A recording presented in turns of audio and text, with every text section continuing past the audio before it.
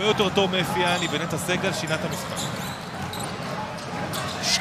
12-0, זו הריצה, משגב רוצה לשים סוף לבצורת, וניב משגב. הוא ארי גרין, שאומר בסוף ההתקפה, זה לא משנה, אנחנו הרי נגיע לפואנטות שלנו בהתקפה, ההגנה, זה מה שייקח, הוא ייתן לנו את המשחק. תודה, ניב משגב לשלשה שנייה שלו, וגם היא נכנסת, ניב משגב מצוין. אחד עבירות חכמות. כדי לנסות לתת תוקף לתיאוריה שהפרחתי מקודם, נטע סגל עם מדד פלוס מינוס פלוס 13. משגב לשלשה, וזו אחת ההתקפות היותר יפות שראינו מחולון, הכדור זז. משגב לארי גרין, שיבחנו אותו כל הערב, זה זמן קבלת ההחלטות הטובה יותר. משגב משגר עם הקשת היפהפייה הזאת, ניב משגב. היידה ניב משגב.